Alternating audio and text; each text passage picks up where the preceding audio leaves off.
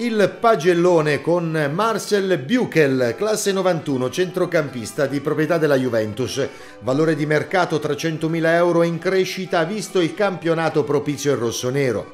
Si tratta di un giocatore atipico per qualità, nel senso che è un regista che ha anche gamba e dunque interpreta bene le due fasi.